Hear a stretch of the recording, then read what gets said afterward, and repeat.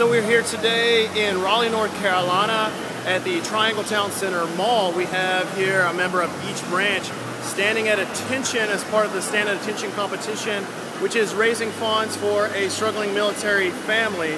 Uh, a family, in fact, who lost their house in the recent tornadoes down at Fort Bragg.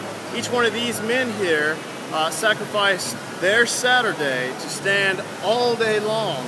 Um, so your donations, though, online today count towards this competition. Basically, at 7 o'clock, if there's more than one member of each branch standing, we're going to tally donations both here at the mall and online to declare which one of them is the ultimate winner.